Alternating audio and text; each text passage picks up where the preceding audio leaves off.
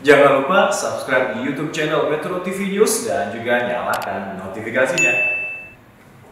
Pameran Batik Indonesia berlangsung di Moskow, Rusia, diselenggarakan dari saat ini hingga 3 Oktober 2021 mendatang.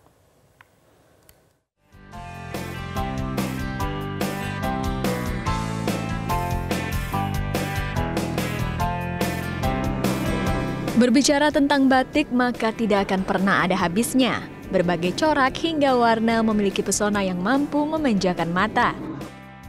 Keindahan batik Nusantara hadir di Moskow, Rusia, mengusung tema Pesona Batik Indonesia. KBRI bekerja sama dengan Museum Seni Dekoratif Rusia di Moskow untuk membawa pengunjung menikmati pesona batik yang dipamerkan. Duta Besar Republik Indonesia untuk Federasi Rusia dan Belarus, Jose Tavares, mengatakan acara ini ditujukan untuk semakin mengenalkan seni dan budaya Indonesia, khususnya seni batik kepada masyarakat Rusia. Masyarakat Rusia sebenarnya uh, belum begitu mengenal batik.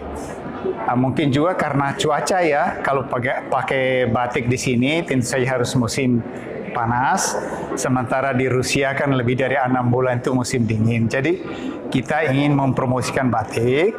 Uh, masyarakat Rusia bisa juga menggunakan pada saat summer di pada saat musim panas uh, di Rusia sini.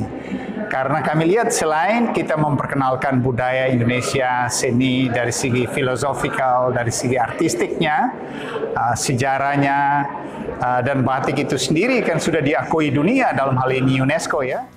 Di pameran ini, para pengunjung yang datang juga dapat mengikuti berbagai kegiatan seperti membatik dan masterclass motif batik dipandu dua orang pebatik asal Rusia yang mempelajari batik di Indonesia. Pameran ini akan berlangsung hingga 3 Oktober 2021 nanti.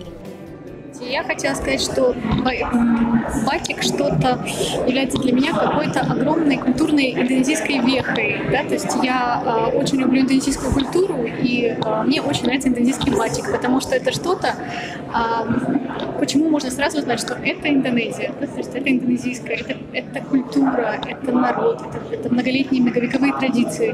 И я сама очень люблю одежду из батика, с удовольствием ее ношу, и я э, невероятно рада, что в Москве открылась выставка индонезийского батика.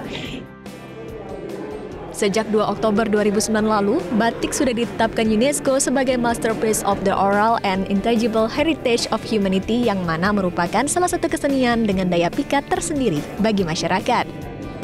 KBRI Moskow pun terus berupaya mempromosikan kesenian tradisional serta produk lokal Indonesia agar nama Indonesia semakin bergaung di penjuru Rusia.